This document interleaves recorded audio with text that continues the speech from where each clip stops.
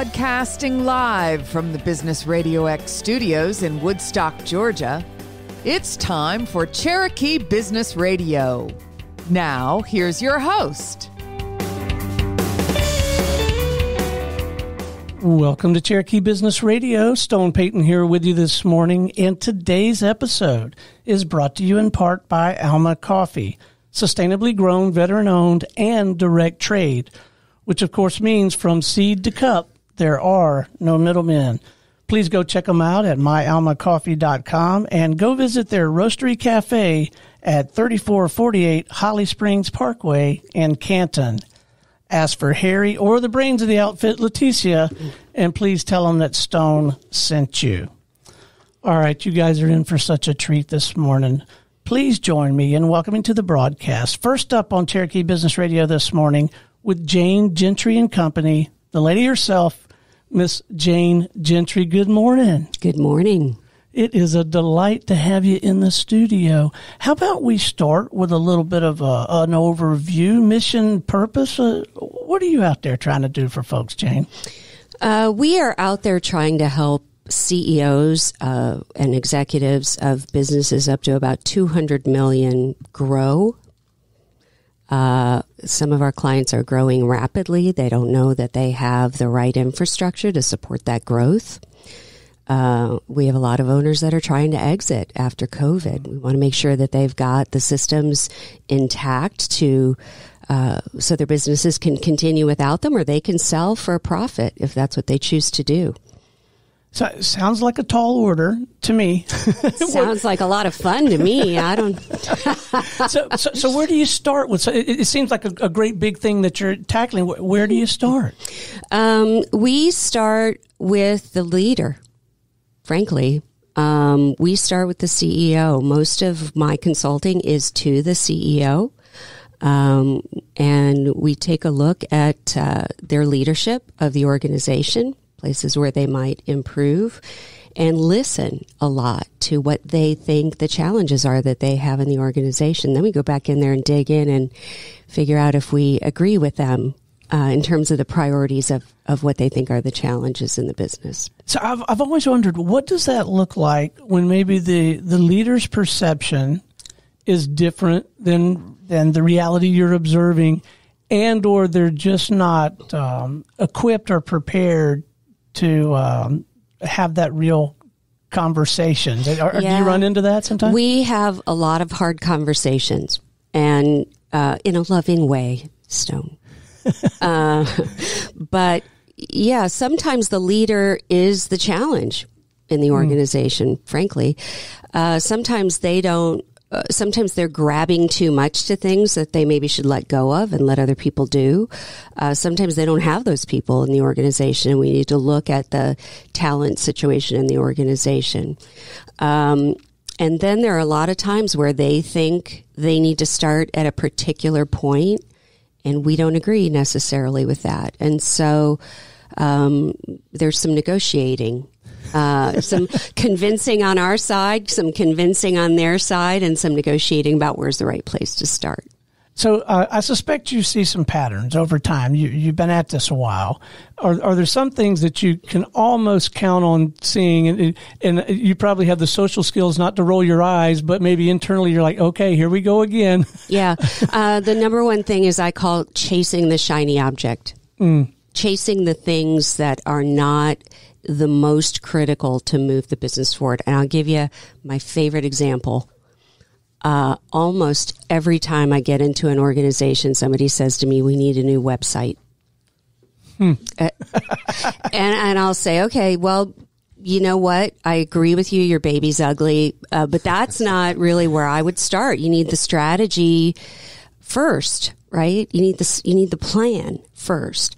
Yeah. Uh, you need to know who your customer is first and what the languages of your customer and what the problems that your customer has. What are the solutions? You know, what are the things you're solving for? And then we get to the website. A website anymore is just a calling card, right? Nobody right. in B2B is going to buy off your website.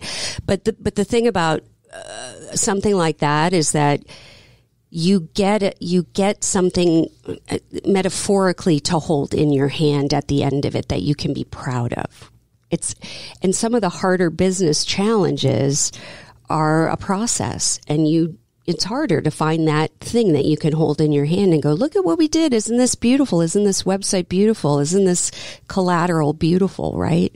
So, um, I call it chasing the shiny object. And that is a, that is a pretty consistent thing that, that I see. I, I think I might resemble that remark. and we're nowhere 200 million, but we got a good little business going yeah, here. And I, yeah. I, yeah, I get, I, and you know, I'm one of the leaders of this little business and I do get sort of uh, distracted by objects. Yeah, well, I'll tell you, I had a CEO say to me recently, I'm not sure that our business uh, will be relevant in 10 years. Um, and then not too long on the tail end of that, she said, Jane, we, we really need a new website. And I said, wait, I think we need to go back to the statement that your business might not be relevant in 10 years and address that. I think that's the big problem, not, not your website, right? So it, it is a pretty consistent, pretty consistent thing. So let's back up a little bit. I'd love to hear a little bit about the backstory. How did you land in this in this line of work? Um, well, I had a consulting practice for 20 years. I consulted predominantly with very big companies, Mercedes, Home Depot, Philips. I've heard of those. Yeah, a couple of those. um, and then I left, I was uh, recruited to run a couple of companies. Uh, to take a CEO role in a couple of companies and uh, turn these people down, I don't know, 10 times, and ultimately uh, took the job. And uh, with an equity backed, they were equity owned. Um, it, COVID aside, it was one of the worst experiences I have ever had. Everybody that ever mm. sold to this equity firm lost their money or didn't get their money. Um, it, it was really a, a, pretty big bait and switch. And uh, so I got, I left there and had, you know, kind of a heart to Jane and Jane had a heart to heart with each other. Uh, do you want to go back to what you were doing? And honestly, I was a little bored. In fact, a friend of mine had said uh, before I took this this role with the equity backed companies, uh, he said, "Jane, I think you're just putting different lipstick on the same pig." I thought that was really very southern, but very good advice, right? So um, what I realized is uh, that that experience lit a fire under me. I do not want if I can save one person stone, and this sounds this sounds so like metaphysical, and Jane thinks a, a whole lot of herself. But honestly, if I can save one owner from an experience like that, it will be a win for my career.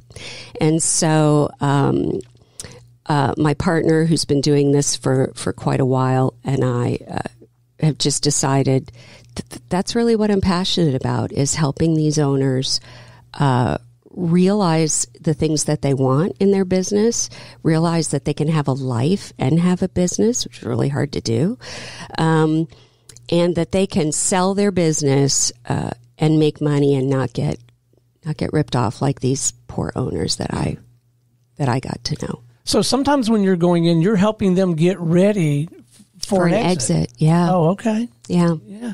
So do you ever run into a situation where the operation is is is generating pretty good revenue? Mm-hmm. The sales side of it's okay, but they're just not nearly as as profitable as they should and could be because some other things in the machine aren't working too well? Yes. We are in the we're in the midst of a fixing a fixing all the back end financials for an owner right now who inherited the company, ah. and uh, there's no there's no job costing. Uh, they don't know what their cost of goods sold is in the company. They don't have a process for estimating. Uh, they let their co- clients send the contract to them out of, and they work with giant companies. So, do you really want procurement from Disney sending you the the contract? It's really not going to be in your best interest, right? right. So, um, so we're digging into that and helping that yeah. owner think about that business and uh, how it makes sense to look at that business financially and how you can ensure your profitability and how you can look at some of the decisions you made and and ask yourself was that a really good decision or was that a poor decision right? So um, yeah sometimes sometimes the money is there but the profitability isn't there because some of the decisions that are being made aren't aren't really in the best interest of profitability. So i am peripherally um, around some of the things that, that you're describing just because I get a chance to talk to business leaders. And a couple of things that come up a, a lot uh, is two different retention. Sometimes they have concerns, or at least they're focused on client retention, hanging on to who they have. But a lot of it too is hanging on to the to the employees. So that is the number one problem for every business on the planet right now. Yeah. Um, 30 million boomers left the market during COVID. Just said, I'm out of here. Wow. Uh, we bring in right now about 9 million new bodies into the workforce a year.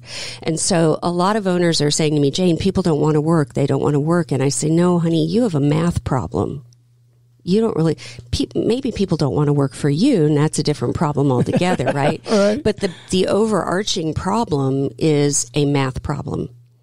We have lost uh, 20 some million people out of the workforce. The birth rate uh-huh. is going lower and lower and lower. So that problem is not going away. In addition to that people did during covid really take stock of who they work for. How do they feel about that uh, what do they want their work life to look like? I had somebody um, ask me the other day at a keynote. Uh, she said something about work life balance. I said, "There's no such thing. There's just life balance." Right.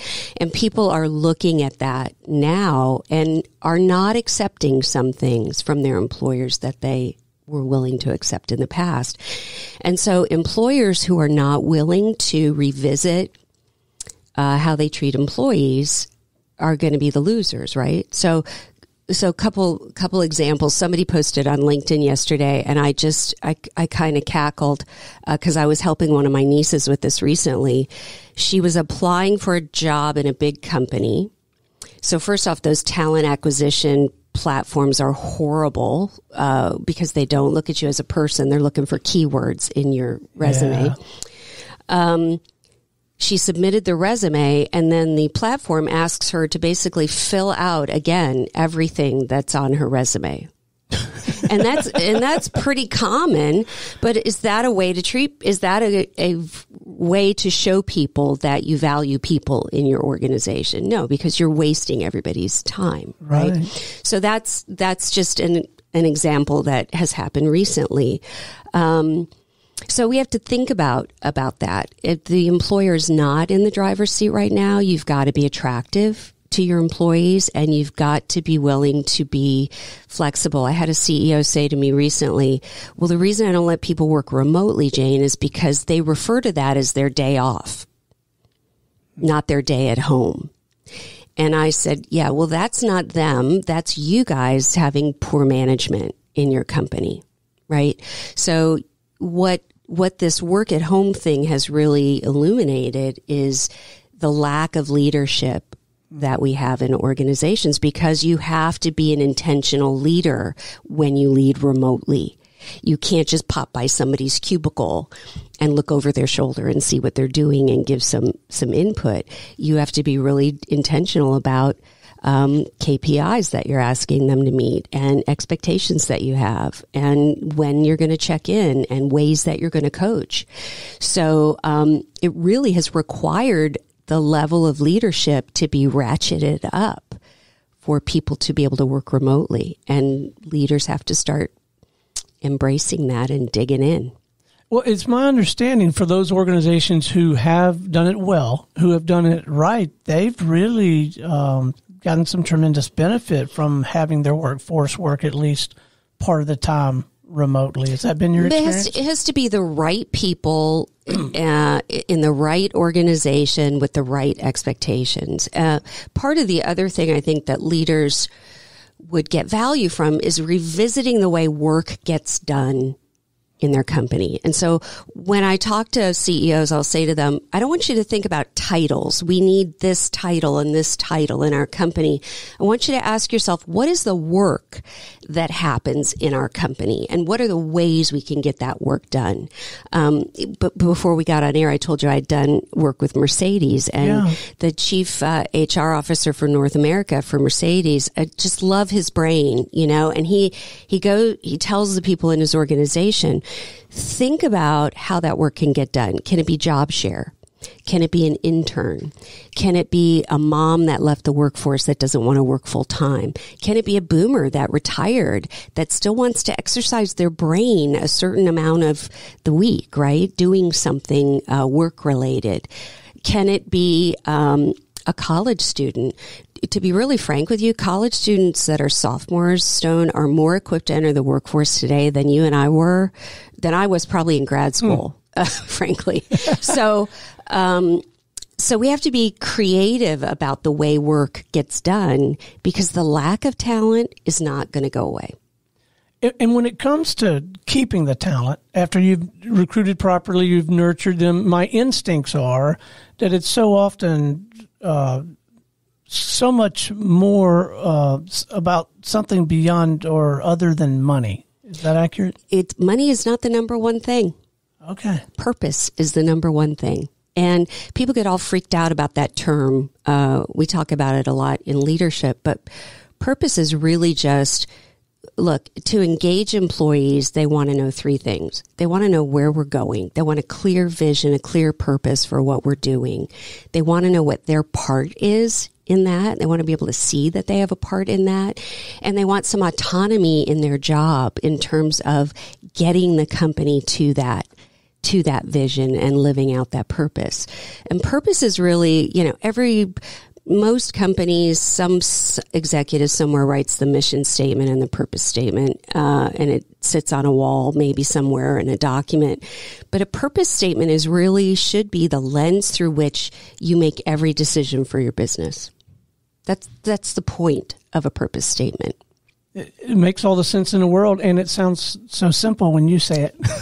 yeah, it does. But it's not, which is why I have a job. Thank goodness. Thank goodness it's not simple, or I would I would uh, be working somewhere else. so, so when when a company decides to engage your firm, what what does the early part of an engagement look like? You're sitting down with them. Can you kind of describe what happens in the early stages of an engagement? We do a lot, a lot, a lot of discovery. And then um, we do an assessment with the CEO and maybe some of the executive team called the Judgment Index. And that freaks everybody out because they're always like, So do I have judgment? um, I don't know. We're going to find out. Um, it really gives us some good insight into what's going on with a leader in terms of the the way that they uh, show up at work, but the way that some of the things, some of some of the ways that they see themselves or they see work in general impact how they show up at work. So, what what are you finding the most rewarding? What are you enjoying the most about the work? I love ahas. I, I've for 30 years, that's the thing that gets me up in the morning is for, uh, for a CEO, for a salesperson, for somebody to, uh, have an aha moment that kind of course corrects maybe the way that they choose hmm. to do their work or to yeah. look at their work. Yeah. I get excited that, about that. I bet that is incredibly fulfilling. So it sounds like great work if you can get it. How does, but I'm curious, and, and I have, I play a, a, pretty major sales role in our organization. So I'm always curious, how does the whole sales and marketing thing work for a company like yours, for a, for a practice like yours? Like, how do you, how do you get a chance to even have those conversations with CEOs? Yeah. So I'm knocking on the wood of your table. Uh, my practice, even uh, before so for 30 years, for 30 years, 20 some years, um, has been all referral. Wow. Um, very, very blessed that way. Yeah. But we also, you and I talked about, um, uh, networking or, or whatever. I'm, I'm a believer in, uh, helping. So I'm, uh, I have a very large network of people, but I've spent a lot of time paying into that network, Yeah. uh, doing my very best to help people succeed. And so the, the, the benefit of that is those people are willing to help help back. So I'm very lucky that way. But your radio show maybe won't hurt. And uh, I am invited on a lot of podcasts and Yeah. things like that. So I'm out and about in the world, or oot and, oot and a boot if you're Canadian. uh, and uh, and so we're lucky that way. We are about to do a little bit of marketing, uh, Right. but only because I think that's the right thing to do. yeah. And you're out there speaking. You have an opportunity. I am a keynote bit. speaker, so I speak quite a bit at sales and leadership conferences in particular. Yeah. Because you know, s- m- small and mid-sized business owners are not out networking, right? They are head down in their businesses, and so uh, really the only way to meet them is through referral or speaking at a conference that they that they choose to attend because they're not they're not out in the world having having the time to go to a networking meeting. Right. Yeah. I hear you. And um, as as you've clearly experienced, good work, doing good work is a marvelous sales tool, isn't it? It's a great sales tool and it's a great um, way to spend your week. Just feels good. So our listenership is largely made up of um, people who are trying to strike out on their own and and create their own future, like the decision you made some years back. Uh, what counsel, if any, would you have to offer them if, if they're considering it or they're in the early stages? I don't know if there was a, a, a mistake you might have made or, or something that surprised you, or you came out of that with the three do's and three don'ts of getting your own thing going. But uh, any counsel you might have, I'm sure would be greatly appreciated. Um, if you're if you're early on, you're very product focused, right? We and we're usually not working with little bitty companies, but I would say um, major on the majors. Don't chase the shiny object. Strategy, uh, you know, I don't know who said culture eats strategy for lunch. If you don't have a strategy, you're not going to have a culture. So you have to be a certain size for that culture eats strategy for lunch maxim to work. Um, major on the majors and strategy is the major. Execution comes behind that. Uh, the other thing is don't be uh, myopic in the in terms of just staying uh, so hyper focused on your business that you're not out in the world networking. I, I have found in my own business that um, the biggest accelerator of my business is my desire to be around smart people who challenge the way that I think. And for business owners, when you're when you're in your business every day, and that's you show up in that building and you don't go anywhere else. Um, where do you? I mean, they get it from us, right? That's one of the Right. ways we're the people that ask the hard questions and hold them accountable. But other than somebody like a consultant, business consultant, um, where where do you get your thinking stimulated from? Who who stimulates you? What do you read? Who do you listen to? Who do you go to lunch with? Um, you owe that to your employees and your culture and your business to to kind of get outside your business. I am so glad I asked. And if I'm asked that question, I, and I will try to remember to credit you, but I am going to tell them to major on the majors. For sure. that is fantastic. I, I love it. Uh, and then uh, I'd, I'd like to know um, how. I- I don't even know what questions to ask if I were to to begin shopping for, for lack of a better phrase, a consultant. Like how. What kind of questions should you ask? What should you look for if you're considering engaging a consulting firm to come help you prep for the exit or just have a more profitable business? Or maybe you don't even know what the challenge is. You just feel instinctively, man, this could be so much better than what we're, we're doing here. But uh, how would you go about engaging someone? Well, I think there are a lot of smart business consultants. There are a lot, you know, equally number of, we'll call them less smart. Um, but if you can get past the point of uh, credibility, then I think you should look at um, do you trust this th- these people? Do you trust this person? Are you willing to um, be challenged by this person? Do they challenge you? Yeah. Um, I mean, that is the value of a consultant is that they should be asking you hard questions. Uh, they should be challenging your thinking. Uh, and if they don't do that, then I would give them Das Boot uh, in favor of somebody else. but you, but you've got to have the relationship, right? Because a person who does the kinds of things that we do, we're deep in your business. Um, we're we're deep in in in conversations about your leadership and your your leadership style, your leadership effectiveness.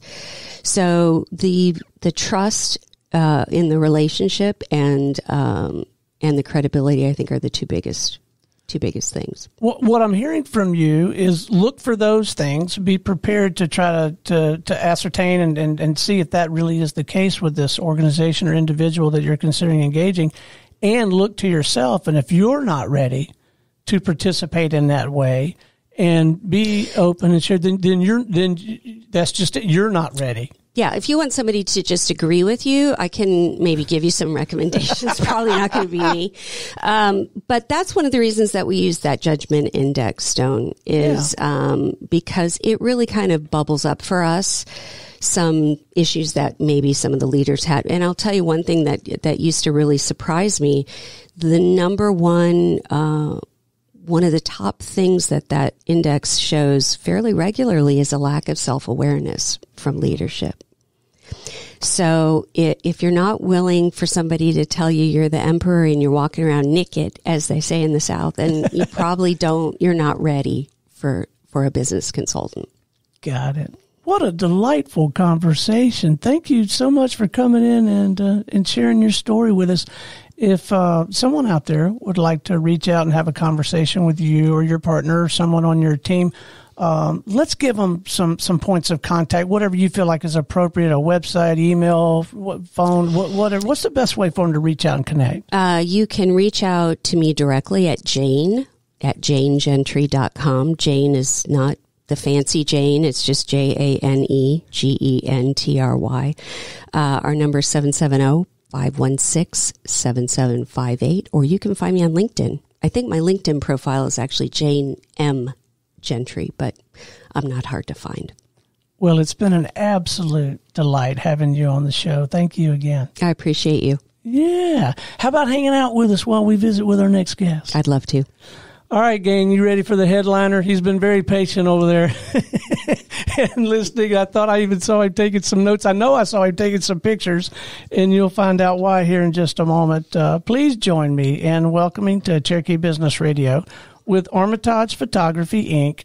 Mr. John Armitage. How you doing, man? I'm good. How are you doing? I am doing well. Well, did you learn anything in that last segment? I did. I did. I, I almost sometimes wanted to reach in and say a few things, but I thought, nah, I can't. Uh, but a lot of things she said ring so true um, about the business world and leadership, and um, and you definitely have to self assess a lot of the times uh, just to see where you are and to you know go forward all the time.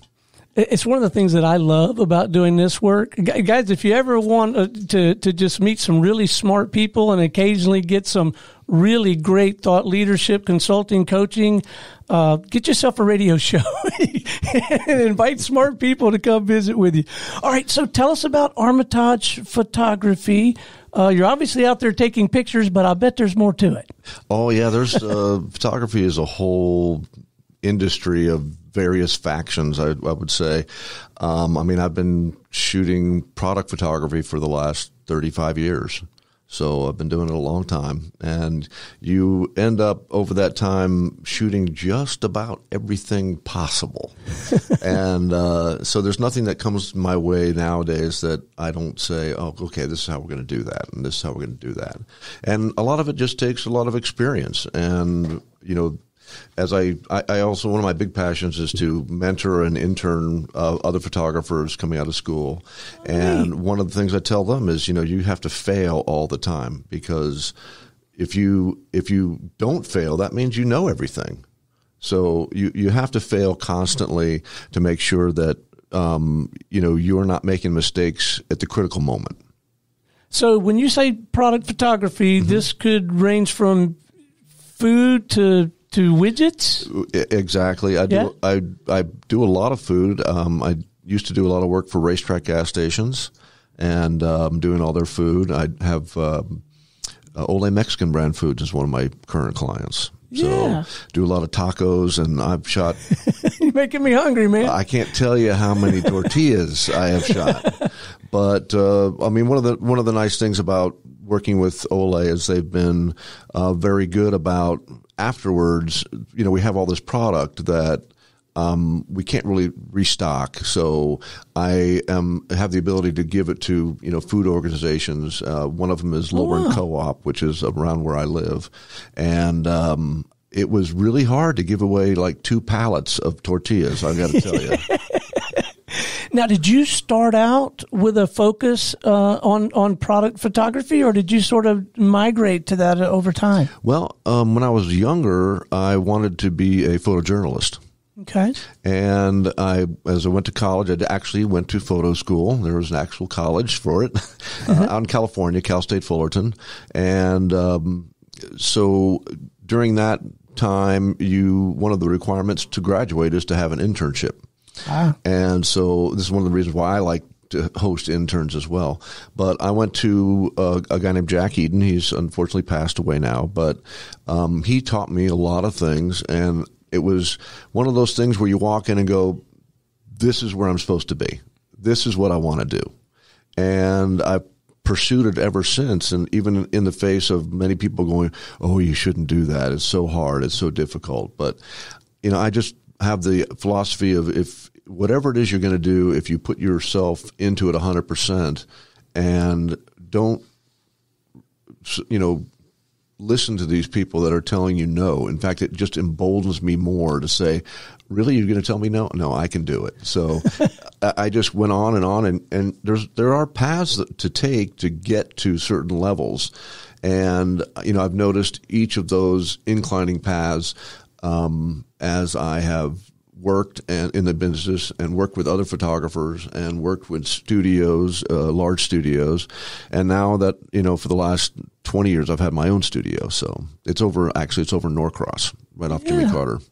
So, do you find yourself working with someone in a marketing capacity in these firms? Are you working with the owner? Like, who are you interacting with at, at the company? Oh, it all depends on which company it is. Uh, for Ole Mexican Brand Foods, there's a nice gentleman named Enrique Botello, and he is their marketing person. So he gets together with me, and we um, he tells me what they need, and I try to provide them the best way I can. Um, if it's because there's some just product shots that are that are just for the web for Amazon that are you know tortillas on a on a white sweep, um, not too exciting. But um, occasionally there is a, a better opportunity to do some more lifestyle type of shots where you know I have to I hire a food stylist. Uh, there's a lot of really good ones out there. Um, All right, you got to hit the brakes here. What, what in the world does a food stylist Oh do? my! Food stylists are women and men. I shouldn't say I, I don't want to be sexist, but um, I'd say a majority of them are women. Uh, but a few very good men um, do this, and they really just make food look good. So, so um, I, I don't know. They they can cook and they make things look juicy and fresh, and um, they have all kinds of little tricks of the trade to make the food look fantastic. And without them, you know, the photography is not going to look good. It's like we can't do food photography without them, and they can't get jobs as food stylists without Right. us. So it's a symbiotic relationship. Uh, Rachel Daylong is uh, one of my favorite food stylists out there, and I've used her several times on Ole Mexican brand foods shoots, and she is just phenomenal. She gets in and she sets everything up and has all her little accoutrements that she will put into to make it look fresh and, and be fresh. And uh, so many times you just want to look at it and just, oh, it looks so good. so, um, Rachel Daylong. Well, I appreciate that because now I can send her an invoice. No, I'm kidding. well, I got, you know, I got to plug the people that uh, well, help me, sure, absolutely. You know. So do you do you walk in sometimes and they, whoever they is, Mm-hmm. and sometimes it, it varies, know exactly what they want, and sometimes they don't, and you find yourself in a little bit of a consulting role? Both, both. Yeah? Uh, there's a lot of times when people come into the studio and they'll say, after about 20 minutes, they'll go, "I never realized how much there was to this." Yeah. And you know, in today's day of uh, cell phones and iPhones and social media, uh, I mean, the photo world has changed quite a bit. I'll bet. And um, so, a lot of people aren't so concerned with quality as they are with you know quantity of, of content because they've got to build content all the time, and it's important for companies to have a social media person to do that, but they shouldn't substitute their product photography to their social media person. I mean, Yeah. it's not it's not at, at all the same thing. Um, so, like one of the more recent shoots I did was uh, for Hoots, which is a uh, offshoot of Hooters, which is Hoots Wings, and um, had a really good experience with them. They came in. I had actually had two food stylists on that job. Actually, oh, I'm sorry, three. One just cooked. One just fried food out back because we didn't want to smell like big giant French fry, and we also had a video crew in. Um, to video, do some video for them. And because when you once you make the food, it's it's not going to last for that long a period of time. And if you're going to make it for still photography, you might as well have the videographer in there to do the things that you want um, on video as well, because Right. there's that's one less cost that they have. But um, the big thing probably about today's photography is that it's all digital. And yeah, years ago, I was a film guy, you know, four by five and, you know, sheet film and Polaroids. And, you know, we heard of, oh, you know, the digital uh, cameras are going to be better. And, and we never thought that that was going to happen, but eventually it did. And they are, they are really fantastic. Um, and the great thing about it is it, it brings the cost down huh? because before we'd have sheets of film you'd have to purchase process and polaroids that you'd have to test your image you know your when you're Right. when you're doing your shot you put a polaroid in and pull it and you look at it and go okay well you know this is that this is that check focus all these kind of things. And all of that is gone. For so for each shot you would do you'd spend about 30 or 40 dollars in processing in polaroid. So when you start adding that up 10 15 20 shots a day um, that gets up to be a pretty hefty bill um, i had been on a job once with a couple of friends of mine for a um, clothing company. Uh, this is back in the film days. And um, after we figured out how many images they were going to need it was like of you know 60 70 page um, catalog and it was like 400 shots or something and so somebody, we all looked at each other. Okay, who has a credit card with uh, that can put ninety thousand dollars of film and Polaroid on? We're all like, uh, none of us. so you know that's a that's a huge savings to most businesses, and it and it really cheapens the cost of photography immensely. And and all, now uh, um, clients get a lot more photography done during the day in one day than they Right. would have in years past because there's no film to process. There's no waiting for it to take a look at it, make sure everything's okay, and you know instantaneously right there. And it's a big screen on your computer, and you know it's uh, it's really a, a kind of a beautiful thing to watch. It really is. So, how'd you get started, man? Did uh, you mentioned that you went to school? Were Yeah. you doing something before that, or you knew pretty early on this was your path? Well, um, actually, I was in the I was in the military for a few years, um, active duty, um, and during that period of time, my father passed away at a young age. He was uh, forty eight. And he was never really happy with what he had decided to do with his life. He wanted to be an actor, and um, so he didn't pursue acting, and he went into a career in business yeah. um, and he worked for Alcoa Aluminum uh, for many years, and we moved back and forth across the country several times.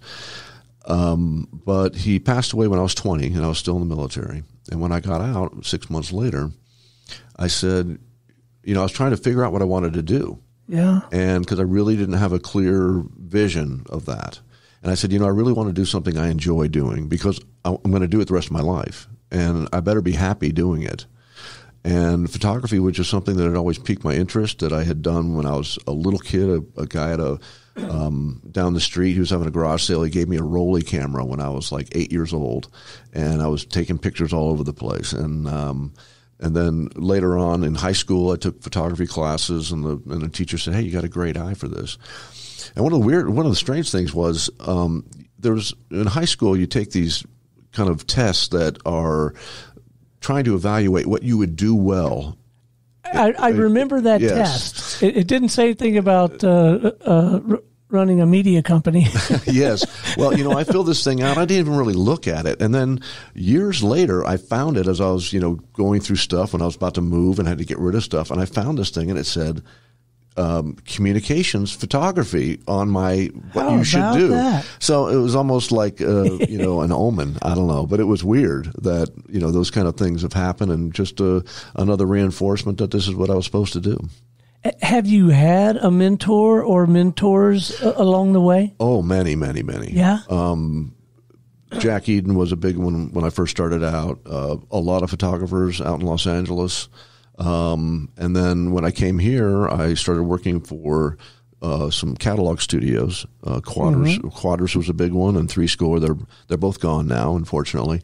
Um, but there was always a great camaraderie in those um, in those studios. There would be anywhere from five to forty photographers every day shooting and be like 40 50,000 square foot spaces that you know everybody's trying to squeeze in and get enough equipment to do what they're going to do. But um, everybody was very helpful and friendly. And you know when you had an issue um, they would come over and help you out and say hey you might want to try this. And you could go over and look at what they're doing and see their sets. And so it's a real it was a real training ground uh, for um, kind of you know, getting up your production, and you had you know so many shots you had to do every day, and they, I mean, they range from you know things on what we call things on white.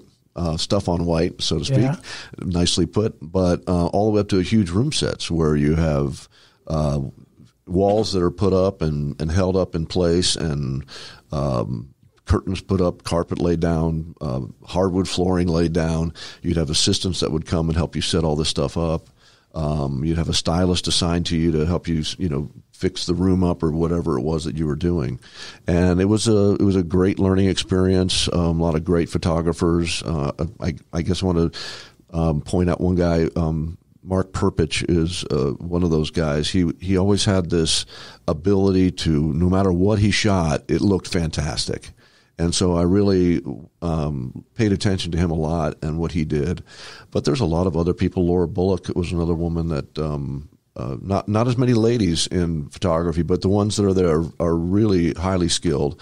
And Laura Bullock was one that you know taught me how to shoot glass. You know because we were shooting glassware for uh, Macy's and for Bloomingdale's, and uh, there's you know techniques to make it look really good. Because when you just point a light at something, it's that just doesn't always do it. There's reflections and I'll all bet. kinds of little nuances that you have to do to make something look uh, you know appealing and sexy, so to speak, to uh, consumers that want to purchase it. So you really you really have to understand you know what you want, what your client wants to be conveyed in their product. And now you're mentoring others. Yes. What, what is that like? Are you, are you you enjoying that? I sense that you are. Oh, it's uh, it's one of my passions. I really do enjoy it a lot, and they inspire me as much as I inspire them. They're, I mean, I what I try to do is to help them through the. Um, the ups and downs and most of the downs that you know we all experience. It's just like a, Yeah. a parent trying to tell a kid not to do something. Don't touch that hot stove. But you know they're they're they're bound to do it anyway. So I press them to, like I said before, to fail all the time. And because through your failure, you're going to find out what to do the right way. Um, but they'll come to me with different um, ambitions of uh, shooting, different kinds of photography. Um, so sometimes they're what they want to do. I ask them. I say, "Well, okay, I want you to pick out, you know." 10 pictures 10, 10 photos you see on the web or on magazines to emulate for your portfolio This- you know what would you, what do you want to see in your portfolio and so they'll bring them to me and now and uh, some of them will like well i would like to do this but it's just too hard you know i'm like Is that what you're going to tell your clients? Is it's too hard? you know, well, I can't do it, you. but my friend down the street, you know, he can do it because he's better. No, you want to, you want to, like I said, practice. I mean, it's just about like everything else. It's practice, practice, practice. Um, like brain surgeons, they don't go into brain surgery right out of medical school. You know, they have to go through a long period of time to um, get to that level and to provide that kind of service. And there is definitely differences in. I mean, if you give a product to five different photographers, you're going to get five different shots. There's no doubt about it. We all have our own little styles and our techniques, um, and I'm in currently trying to help pass those upon, pass those along. I, I'm in the process of writing a book um, All about, right. about photography and lighting. You got to come back when you I, when you I get will. that book out. I will. Yeah. It's going to be called uh, Chief Cook and Bottle Washer because we, you know, it's an old saying of my mother's because she always, you know, did everything around the house, of course. Right, And she's like, I'm the chief cook and bottle washer here. So anyway, I've. I, I feel the same way when I'm at my studio because I'm a one man show and I hire people when I need to. Um, I keep a list of very good, strong freelance people that I hire, hire assistants and stylists and um, all kinds of folks to come in to help me um, put up sets, build sets, do food styling, style clothing. One of my clients is uh, USOC, the Olympic Committee, and we do a lot of their um, up their social media apparel.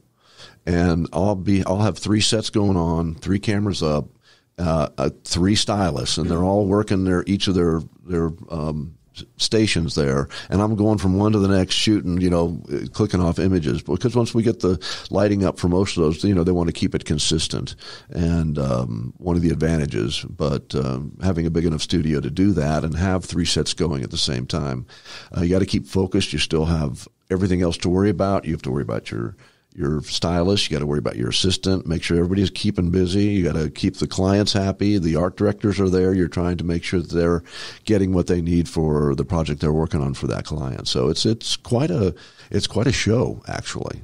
I'll way. bet it is. So, so in your world, probably not unlike Jane's, our, our earlier guest, there's mastering your craft, but then you've also got to run a business. Yes, yes. You're, uh, I mean, we're um, we wear many hats. We wear all the hats. That's why Yeah. we're chief cook and bottle washer.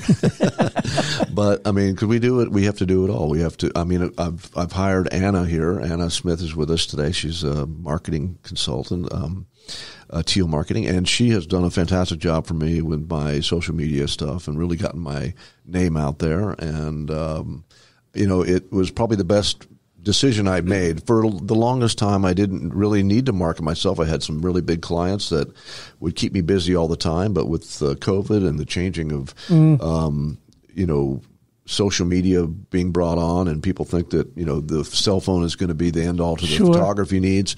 Um, it it it came time where I had to actually get out and start uh, hitting the bricks. So Well, it was a good call for whatever my opinion is worth. Yes, I've gotten was- to know it- Anna a little bit over the last year. yes, it was the best thing I've ever done. I think it really is. So um, let's talk legacy uh, for for a moment. Your passion just comes through, so it wouldn't surprise me to learn that you plan to do this till your last day. Uh, Well, they'll probably And- they'll probably bury me in my studio. Yeah. and do you have any plans at all for maybe bringing someone in and having or or exiting in some fashion or or passing the baton or are you there yet? Um, Thinking about that stuff yet? Of course, I think about that stuff. It's difficult to find a younger person, of course, though, that wants to come in and commit the kind of time necessary to um, take over the business because, you know, they have to have the clients uh, as well, and they've got to. My clients trust me. I mean, they come to me because it's Yeah. what what I do for them is is I, I I work very diligently, and that doesn't matter. It doesn't matter how much they pay me. Some clients pay more than others, depending on usage rights. That's a whole other story. But um, you know, I work 110 percent for that client. I will. Uh, I do the shooting. I do the retouching. I deliver the product, and um, so uh, it's a it's a lot of work probably more work than sometimes benefit of of um, monetary benefit, but it's just something that I love to do. I can't. I just can't help it. I've always loved it, and I'm still passionate about it. Well, I can tell, and so can anyone listening to this to this conversation. So, what's next? Are you to branch out into any other arena? Are you just going to stay in this lane and just get better and better and keep trying to serve more folks, or what's on the horizon? Yes. We got the book. Yes. How's that for an answer? Yes, all of those things. Um, got the book trying to come out here where um, um, it's being edited right now, and uh, I have branched out to do. I've actually started a new thing with um, car photography. I have guys that Oh, have their fancy cool. cars. They like to come into the studio. I take a nice, beautiful picture of it with them in it if they want. Uh, they can hang on their wall because there's a lot of really neat cars out there, and a lot of guys uh, really enjoy that. Um, great Mother's Day or Father's Day gift for the mothers out there. And um, anyway, uh, doing that, I'm also uh, I give classes on weekends, uh, basic photography classes. Uh, I'm planning to branch out into more uh, advanced classes, but. Um, you know, I can't give away all my secrets. So, so the book is close. It's about done. We're getting close to We're, we're, publication. we're getting close. We're getting close. A couple of months, maybe. and what was that process like for you? Did it come together pretty easy? Did you struggle over pieces of it? You know, it was. I, I started writing it during the first opening salvos of of COVID, mm-hmm. and it took me like maybe a couple of weeks to put it on paper Wow. Um, because it just came spilling out. I've been, you know, I had been thinking about this for years. Yeah. And you know, as I as I work, and and one of the reasons why I did this was because as my interns came in, they would, you know, I would be setting something up and showing them how I set it up, and they're like, "Well, why'd you do that?" And I'm like. Well, that's a pretty good question. Why did I do that? And, and what's the difference here? And what's the difference there where I put this card or I put, you know, what kind of card I put in there, how big a card it is. And so I found myself having to articulate very specifically what I was hmm. doing uh, because we do it so naturally. After after a time, Sure. we just do it automatically, and we we don't really think about what we're doing because it's just a, a second nature. And suddenly, I had to stop and go, okay, what am I doing? Why am I doing this? Why am I putting this here? Why am I putting that light there or this card here? And I started to come up with you know ideas to help kids. Uh, young photographers to understand how light is reacting because it is all about light. It's not it's not the camera. It's not you know photography is a study of light. So um, a is only as good as the person behind it. So you have to train them to see in great detail, especially in product photography, because once you take that picture, it's there. I mean, there's no there's no getting around whatever is in that shot is in that shot, and you can't. Uh, once it's published, you can't cover it up, you know. so um, if there's some weird reflection in your in your product because you didn't see it, um, it can be troubling, uh, especially to your client. Like, well, what was this? You know, what did you do that for? Remember when I was working for Jack Eaton, we we were taking a shot of this glassware, some glassware, and there was this big blue spot in it. We're like, what is this blue spot? You know, and and finally we realized there was a bottle of Windex sitting on, on the table across the way that was reflecting ever so slightly, but a little sliver of blue. And so you never know where that is going to be coming from. So it's very important to be very critical of what you're doing and how you're putting things in there because uh, one of my basic laws that I teach uh, my students is everything reflects Ah, everything. It doesn't matter what it is, everything reflects. And so you have to really understand that and understand how reflections work and in different situations in flat surfaces and in round surfaces as well. you know, I don't. A layperson, certainly not me, would never even think about that. And that's our that's think about shiny things reflecting, right? well, that's what our job is, so that you're Right. not looking at it going, "Oh, this what's this photographer doing?" You know, we, it's got to look great, and it's got to be that thing that you're going to have in your hand that the that the clients want want to see. It can't look bad, you know, and that's why there's a lot of you know funny things done to, uh, especially food, to make it look better. Right. Um, we try, especially try not to um, um, oversell something. Um, and, and there's also some legal ramifications. Uh, for instance, um, Campbell's alphabet soup. You know, they used to have you know, a bowl of soup, and you'd have the little letters, you know, writing something. Yeah, I remember. I'm old enough to remember, remember that. that, John. Well, the, they ran into a problem because their noodles didn't float; they would sink. So they would put marbles in the plate underneath it, oh my. and that was not ah. good. And so they said, you can't do that anymore. So now, whenever you see an ad for uh, alphabet soup, it's always in a spoon. Ah. You'll see a little word in a spoon instead. And so there's little things that we, you know, that we know in the industry that, that happen. And, um, but like if you're shooting ice cream for, let's say carnation ice cream, I mean, you have to shoot their ice cream. Ah. You, you can't make fake ice cream. Huh. which is just powdered sugar and Karo syrup. But you you can do that if you're you're you're just putting ice cream in as a prop. Right. That's not a problem. But ice cream is a whole different ball of wax. You're working inside of a freezer that has um, uh, dry ice lined in it. And the stylus down in there and trying to, oh my. and you have to get it really hard. And then you only have like about 20 seconds once it goes on set before it starts melting. Wow. So you have a couple of hero stand-ins that the, the stylist would make, and you get all your lighting right, and then at the last second, it's okay, time for the hero, and they bring that out of the freezer and they sit it on your um, on your set, and you go for it. So what a fascinating world! Yep. All right, so what's the best way for someone to reach out to you, have a conversation about this, uh, probably sit down with you and talk with you a little bit about it before we book all the stuff, right? What's sure. the best way? Uh, best way is just to call me directly, 404 247 5458. And you can go to my website, which is armitagePhoto.com. And that's uh, and Armitage is actually a lot easier than you think. It's three words: arm, it, and age, and you put them all together. Fantastic. So, sounds like a mouthful, but it really isn't. Well, thank you for coming in and talking with us, man. This is a fascinating world. Thank you. It's been a great Great pleasure.